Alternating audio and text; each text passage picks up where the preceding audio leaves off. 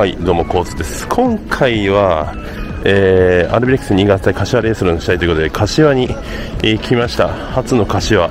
ということで、えー今ね、えーっと、4時半なんですよ。4時半なので、まだ若干早いと。で、飯食いに行きたいということで、柏と言ったら大道屋ということで、えー大道屋にこれから向かいます。はい。見えてきました。大道屋さん。有名ですよね。あの、なんか、清水社長でしたっけ？なんか有名な社長さんがいますよね。うん。豚骨醤油ラーメン、家系ラーメンですね。ちょっともうすでに並びができてますので、まだね、4時40分ぐらいですけど、そこそこ並びがあると。ピークタイムじゃないのにと。ではさすが人気店。ちょっと行ってみましょう。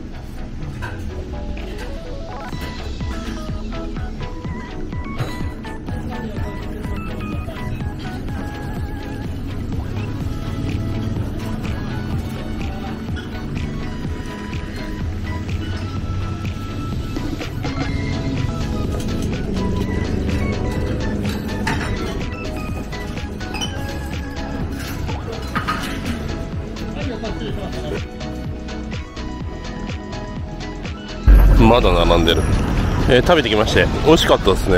なんかあのーなんだ油が刺さるんだよってなんかあの YouTube のいろんなあの大戸屋の動画で見ましたけど油刺さってましたね。なんか層ができるんだよみたいなスープの。層ができてましたね。はい。非常に美味しかったです。麺もね自家製麺ということで美味しかったはい。あの柏に来た際はぜひ行ってみてはいかがでしょうか。というわけで、えーこれから、えースタジアムに向かうと。ちょうどね、スタジアムとね、逆方面なんですよ。うん。ちょっとこれから、えー向かいたいと思います。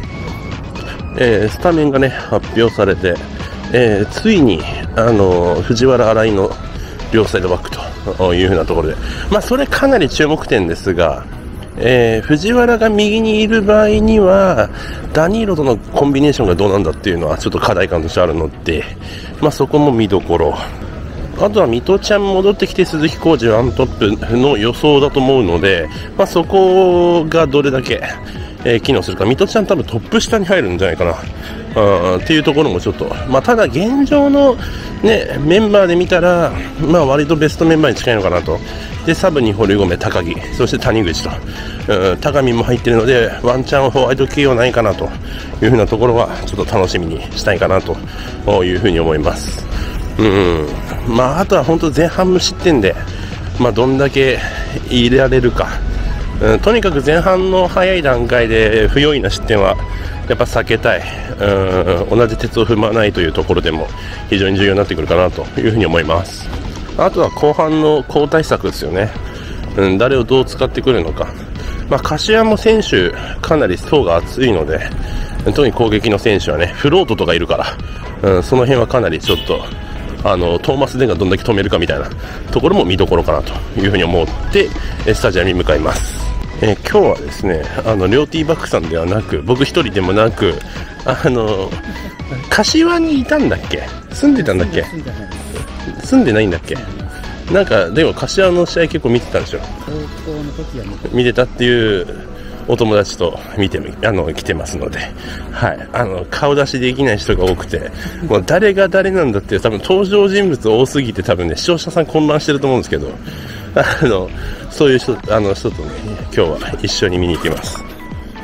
え？ー、え？ー、普通に柏サポートして見んの？あそういうこと？なるほどね。まあまあまあいいですけども僕がねあのビジター席を取ってないばかりに。そう。そう今日はこのこの青スニーカーを履いてます。青白はアルビのアウェー柄なんで一応。ただ多分オレンジ着なかったら何も言われないだろうという。ところで。あのこのチョイスにしました。あレーソルっぽくなってきましたね。フラッグがありますね普通にね。えー、商店街、えー、ここをまっすぐ行くとスタジアムに着くそうです。もうね人めっちゃいますよ。今ね、えー、5時45分ぐらい。えー、っとキックオフの1時間15分前ぐらいですね。はい。フラッグもあります。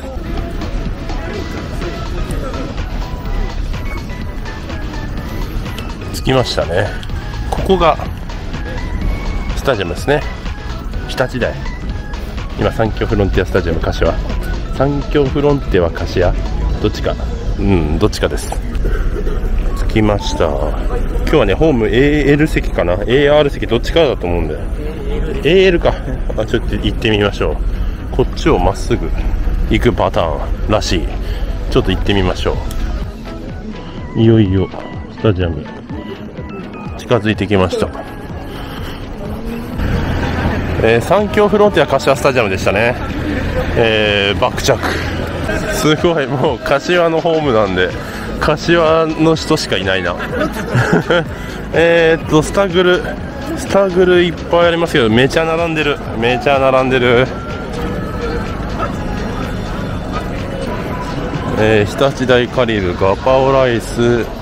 えー、ジンギスカン丼。ジンギスカン丼がありますね。で、えー、ポテトカルビその他もろもろという風な感じですね。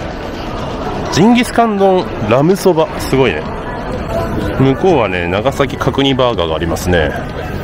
でかき氷牛タン黒カルビでドリンク販売所があるってなんか買っていきます。レーソルサワーレーソルハイボールじゃちょっと気になるので。どっちか買います。レーソルハイボールにした。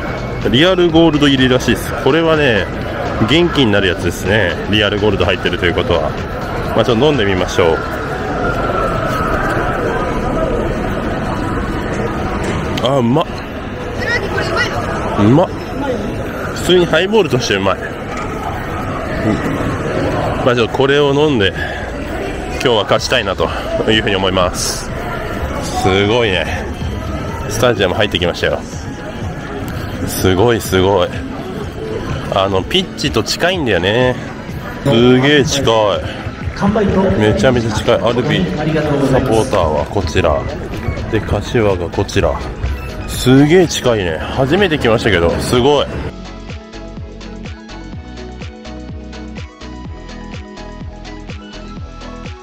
セレモニーです。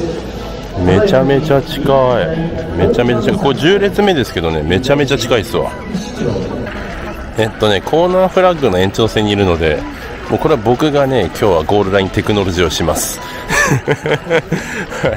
あの VAR 兼ゴールラインテクノロジー。もう本当にもうこのここだから。ここ。すごいよ。でも逆が見づらいな。まあしょうがないんだけどね。まあでもこっちに新潟が攻めてるときは非常に見やすい感じですね。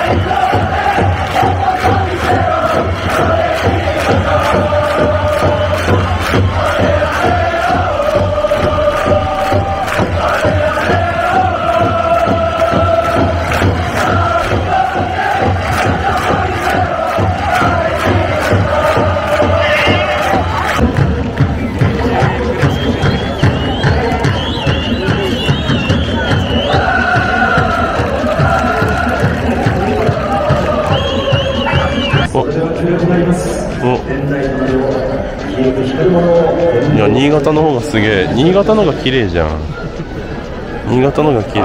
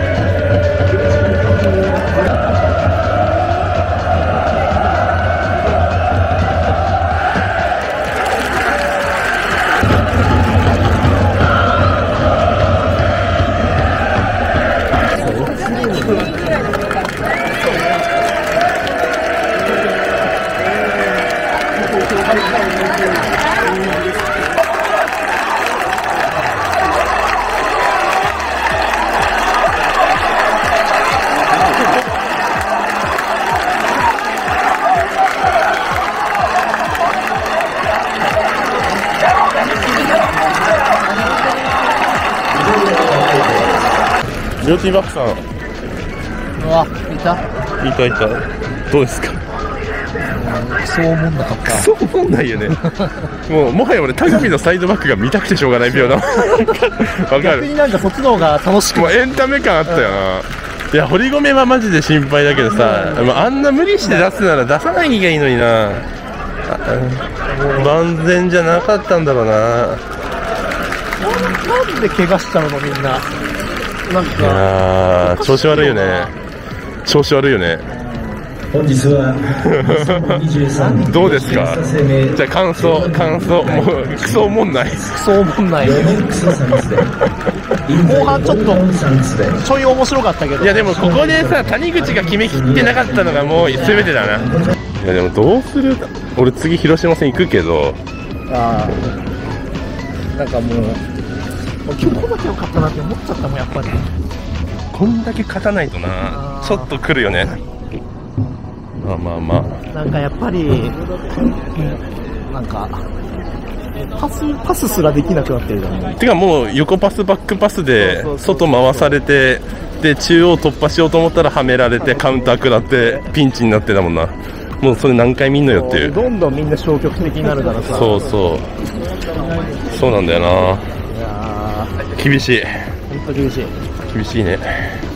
ありがとうございました。がとうございます。どうも、えー今ね駅まで歩いてる道中なんですけれどももう真っ暗すぎてどうどこどういう風に映ってるかわかんないけど、まあ、とりあえず簡単にね試合のお振り返りしたいと思うんですけれどもまあ、まあ、これ柏もそうだけど、まあ、双方ねなんかその決め手にかけるみたいなあったよね。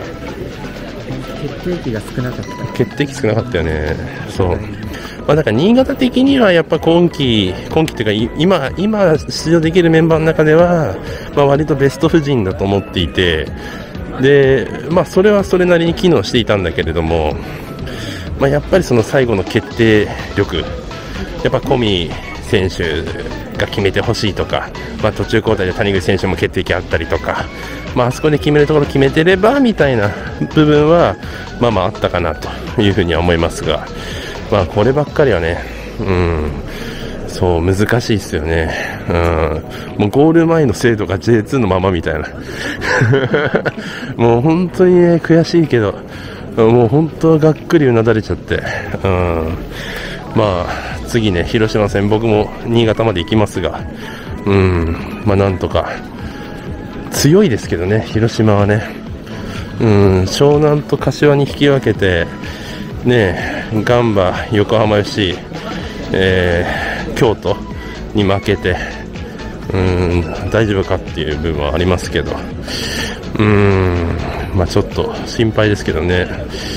うんであと堀米選手も出てきてで割と数分プレーした後また足痛めちゃって高見選手に代わってっていう風なところがあってうんまだ万全じゃなかったのか、まあ、万全だったけど再発しちゃったのか。その原因は分かんないですけど、まあ、非常に残念でしたね、うん。まあ、ただね、もうなんかちょっと感覚まひってるか分かんないですけどもう田上選手の左サイドバックはむしろ見たいなぐらいの 状況になっちゃってて、うん、ただ、やっぱりね、ま、当初よりね田上選手サイドバック上手くなってますよ。うん、でも、田上選手使うんだったら去年、センターバックであんだけ使って、ね、フィードの精度上がったっていうところをもうちょっと、ね、生かしてもいいんじゃねえのとは思うけど、まあ、そこはね監督の采配なんで、えーあれですけど、うん、次、広島戦、誰が出てくるのかな？うん良かった選手を挙げるとですね、やっぱトーマス・デンは高さと速さを兼ね備えていて、かなり攻撃の目を積んでいたのと、相手の、あとま小島はやっぱり安定してビルドアップ、そしてフィード、あとシュートストップ、まあ、すべての平均値、クオリティが非常に高いところがあったかなというふうなところ。あとはまあその小島がプレスかけられてロングボール出さなきゃいけなくなった時にロングボールの受け手が受けきれないみたいな問題があるので、まあ、そこをどうするか、うん、そこでちゃんと収まらないってなると結局また相手の攻撃食らうことになるから、うん、そこもちょっとどうなるのかなと、うん、だからもう対策してきてるんですよ、あー相手は。そう。あとは渡辺大輝のセンターバックはやっぱもう板についてきつつありますね、徐々に。本職サイドバックとは思えないぐらい、うん、非常にいい感じかなと。うん。こう前にボールつけたりだとかビルドアップも落ち着きが出てきたから渡辺大輝選手のセンターバックはもうちょっと起用し続ければもうちょっと良くなってくる気はしますね。うんあと、ま水戸選手、トップ下、まあ、2トップなのかあれですけど、あの鈴木選手とのコンビ、悪くなかったと思いますね。まあ、ただ一方でやっぱダニーロとか、その水戸と込みの関係性はいいんだけど、ダニーロとの関係性どうなのとか、まあ、そこら辺があったりするので、うん、まあ、なかなかそこのバランスっていうのは、まあ、難しいのかなというふうに思いますね。うん、あとは、途中交代のカードがなかなか、ね、怪我人もいるというところで、えー、難しさがあるのかなと、うん、いうふうに思います。まあ、次はね、広島戦、私もまた行きますので、えー、もうなんとかね、ホームビッグサンで勝ってくれと、うん、マリノス戦以来勝ってないのよ、5月14日の、それ俺言ったんだけどね、そう、それ以来勝ってないから、また僕が新潟行ったら勝つみたいなことになるといいなと思いながら Vlog 終わりたいと思います。ご視聴ありがとうございました。